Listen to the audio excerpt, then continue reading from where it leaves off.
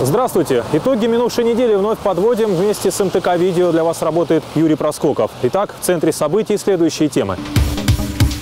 Он чуть ли не трактор не может держать. 350 рублей. Такова средняя цена за 1 килограмм замороженной корюшки в Магадане. А максимальная стоимость – жизнь. Ради чего рискуют рыбаки на тонком льду. Будет благоустраивать в 2018 году. Общественное пространство для горожан. Магаданцам предлагают выбрать объект, реконструкция которого необходима в первую очередь, пока лидирует площадь у северного сияния. Никогда не могла подумать, что с меня могут взять э, отпечатки пальцев. Полиция в поисках новых кадров. В Магадане вновь прошла акция «Студенческий десант», в ходе которой молодежь знакомились с тонкостями профессий в системе МВД. Сами себе на уме магаданские рыбаки. Уже не первую неделю января, да и вообще не первый год сотрудники МЧС предупреждают их об опасности. Но лов и ныне там. Ни морозы, ни метели не отпугнут любителей корюшки. С этим сотрудники госинспекции по маломерным судам уже почти смирились. Но вновь и вновь они выезжают на лед к рыбакам, чтобы провести разъяснительную беседу. С обеих сторон понимают, что эти разговоры мало к чему приводят. МЧС уезжает, а рыбаки остаются. Стимул у них есть. 50 штук в 2 часа.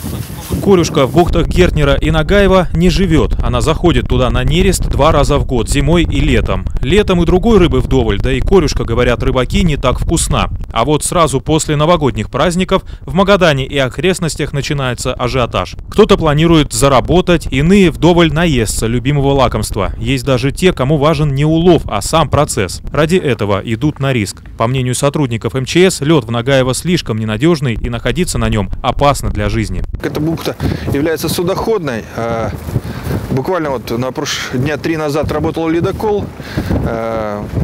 Метрах 500 отсюда от нас находится уже урез воды. То есть, э, учитывая э, плохую видимость, неблагоприятные метеоусловия, в любой момент может произойти взлом ледового припая и МЧС может только предупреждать, не штрафовать, не препятствовать рыбакам выходить на лед спасатели не имеют права. Несколькими днями позже сменилась погода, но только не обстановка в Нагаево. Корюшка идет, и этот момент стараются не пропустить сотни мужчин и женщин. Нет, я не боюсь, я чувствую опасность уже за столько лет, за 40 с лишним лет рыбалки я чувствую лед. До 50 хвостов за пару часов. Ради такой наживы можно и померзнуть, и даже рискнуть жизнью. Опять же, страху нагоняют спасатели и чиновники. Сами рыбаки уверены, им ничего не грозит. Герман Стрижков на промысел ходит более 35 лет. Он сантиметров 50-60 он выдерживает. Он э, чуть ли не трактор не может выдержать. Я сегодня ездил, сначала на Гертнер ездил. Там плохо, но мне ну, позвонили, сказали, что здесь корюшка идет. Я приехал сюда. И вновь рейд, не далее, чем в минувшую субботу. Теперь взывать к благоразумию рыбаков пытаются сотрудники Управления по делам гражданской обороны и чрезвычайным ситуациям мэрии. С учетом того, что нас рыбаки не слышат, игнорируют на все наши запреты, на льду находится более 70-80 автомобилей э, с рыбаками. Ну, Цель наша сегодня провести превентивные мероприятия с рыбаками, переговорить с ними, попробовать их со льда всех удалить. Потому что ну, сейчас ожидается усиление ветра, в связи с этим может лед взломать. И вчера уже был случай, вчера рыбака спасали, в итоге автомобиль провалился под воду, утонул в районе э, каменного венца. В субботу эвакуация потребовалась уже гораздо большему количеству рыбаков. Со льда бухты Нагаева сняли 10 человек, в том числе двух женщин и несовершеннолетнего. Проблемы не только в бухтах Гертнера и Нагаева. На мелководной рыбалка шла хорошо, но вот обратно многие не смогли вернуться без посторонней помощи. Из-за потепления утрамбованная дорога поплыла, к тому же ее основательно разбили груженные Уралы. Эвакуировали застрявших в 100 километрах от Магадана рыбаков спасатели МЧС. Объект благоустройства выбирают магаданцы. Федеральную программу начинают реализовывать на Колыме. Суть ее в том, что, например, горожане могут проголосовать за территорию у Северного Сияния, и Москва выделит деньги на ее благоустройство. До 16 февраля проходит голосование в сети супермаркетов с 6 до 8 вечера. В списках 30 общественных территорий. Это скверы, парки, аллеи отдыха, детские площадки и прочее. Во второй этап выйдут три объекта. По ним будут изготовлены эскизы и победителя вновь выберут сами магаданцы. Финальное голосование состоится 18 марта. Еженедельно специалисты мэрии подсчитывают голоса. На сегодняшний день их уже более шести сотен. Олег Владимирович, итак, э, это ну, скажем так, народное голосование проходит уже третью неделю. А в чем его суть, в общем-то, мы уже знаем. Для чего это мэрии? В общем-то, процедура такая ну, довольно трудоемкая, наверное, да, и продолжительная, во времени растянутая. Так ли это нужно вам и так ли это нужно магаданцам?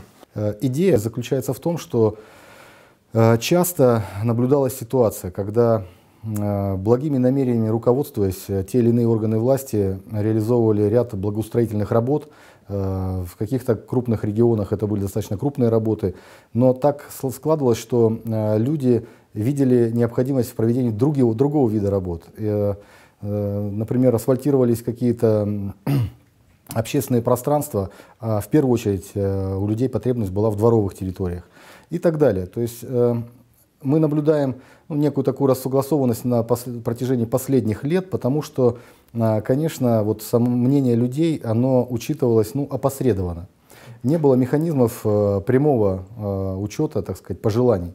Э, проект «Комфортная городская среда», он как раз призван, чтобы на всех уровнях, начиная с муниципалитета, региональном уровне, федеральном уровне, в первую очередь собирались предложения и пожелания граждан о том, что в первую очередь они хотят видеть в своем дворе, э, какие из общественных пространств поселения, города, областного центра они э, хотят благоустроить и как они должны выглядеть. Вот это кардинальное основное отличие э, от всех предыдущих форм обсуждения, которые так или иначе практиковались и раньше, она заложена вот и реализуется на всех уровнях этого проекта. Олег Владимирович, я так понимаю, что это такая, в общем-то, ну, хитрость, что ли, да, и вообще удобный момент для власти, в том числе потому, что э, долгосрочную программу благоустройства можно выстроить. Вы уже будете наверняка знать, что магаданцам нужно, в каких местах и в какие сроки и на какие деньги. Да, действительно, то голосование, которое сейчас проходит, оно будет ранжировать э, все те объекты, которые мы э, включили в голосование. Их 30 у нас объектов по городу Магадану. Э, и, соответственно, ну, рейтинг э, востребованности, рейтинг нужности – проведения благоустроительных работ он будет получен. Э, программа разработана на 5 лет, поэтому в течение всех последующих э, этапов эти проекты никуда не денутся, не будут забыты, будут реализовываться. Но, конечно, для города это позитивный момент, потому что мы в который раз сверяем свои планы с пожеланиями людей. Э, никто не говорит о том, что в следующие годы мы не будем еще раз уточнять э, этой ситуации да, с нашими магаданцами, но на данный момент, конечно, мы уже э, более спокойно и более э, прагматично будем планировать в общем-то, и финансовую, и, и другие организационную составляющую при проведении благоустроительных работ. Пользуясь случаем, не могу не затронуть еще один механизм, так скажем, общения с гражданами. Довольно короткая цепочка выстраивается благодаря порталу «Открытый Магадан». Насколько он себя сегодня уже оправдал и зарекомендовал? Ну, это один из наиболее удачных, на наш взгляд, проектов последнего времени, э, реализуемых на территории города Магадана, которые, как правильно вы говорите, направлены на вот, установление этой связи, этого взаимодействия и обратной связи с жителями. Э, сегодня мы говорим о том, что э, свыше 3000 человек, вот если быть точным, то 3083 человека на сегодняшний день э, зарегистрированы на этом портале. Ну, с учетом почти 100-тысячного населения города, это достаточно серьезный показатель.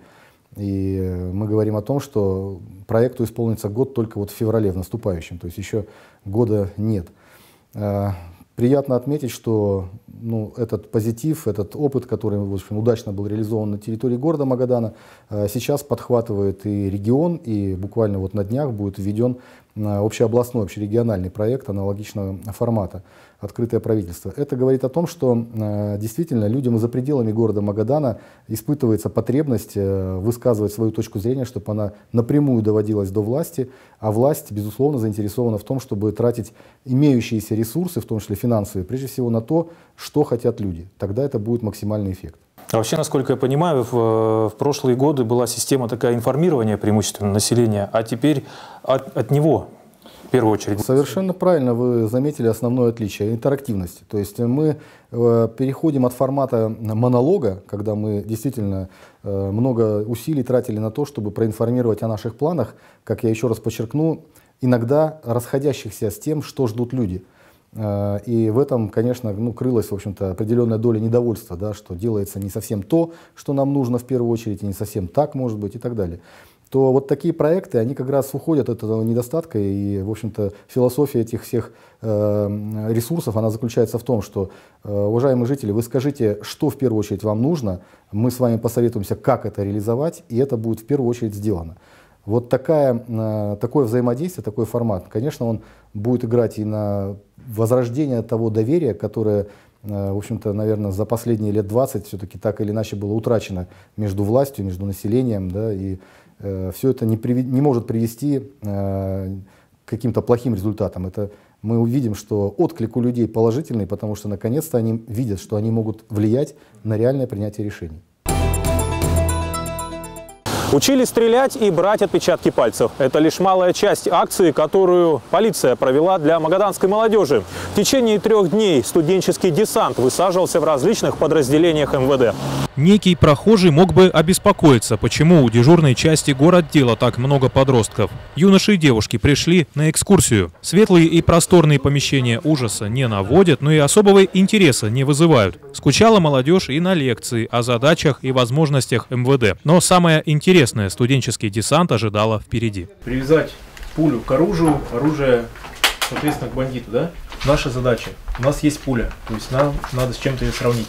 Мы берем оружие, интересующее нас, да, вероятно, причастное к совершению данного преступления. Снаряжаем его экспериментальной пулей и производим выстрел. Сюда. Это кевларовая нитка. Кевлар, знаете, что такое? Бронежилет из чего делают?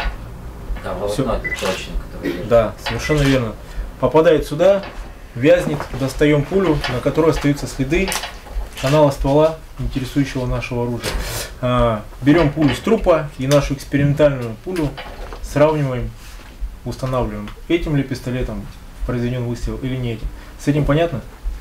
Этот экспертно-криминалистический отдел один из самых передовых на Дальнем Востоке. Стоимость оборудования более 100 миллионов рублей. Примечательно, что оно не только помогает раскрывать преступления, но даже в научных целях его используют. Криминалисты установили возраст гладкоствольного ружья. Находка ученых была датирована 1805 годом.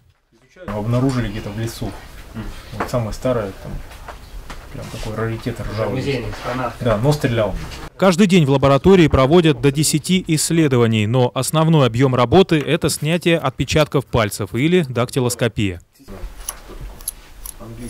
Никогда не могла подумать, что с меня могут взять э, отпечатки пальцев. А это уже показательная тренировка сотрудников патрульно-постовой службы. Со студентом-спортсменом демонстрация приемов зашла в тупик. Отчасти к работе в полиции молодые люди уже готовы. Мотивация тоже есть.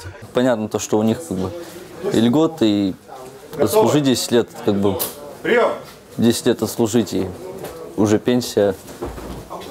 Это как бы лучше, чем более-менее лучше, чем остальное. Хотелось бы, конечно, связать свою дальнейшую судьбу с полицией. Как бы, я считаю, это очень почетная и очень ответственная работа. Работа с детьми, да, помогать трудным подросткам, потому что все равно кто-то должен помогать им, наставлять на правильный путь. Эту форму шили заключенные. Единственное отличие было – это пуговицы и лампасы. Посетил студенческий десант и музей милиции. Рассказы о прошлом колымских правоохранителей подростков увлекли. На почетном месте ветеран патрульно-постовой службы мотоцикл «Урал». Узнали студенты и о героях МВД, погибших на службе. Продолжилась экскурсия в электронном тире. Для того, чтобы произвести нам прицельный выстрел, что нам необходимо в первую очередь сделать? Это подобрать стойку, да, удобную для стрельбы. Во-вторых, да, дыхание подобрать, совмещение мушки с целиком ровно, да, и плавность спуска спускового крючка.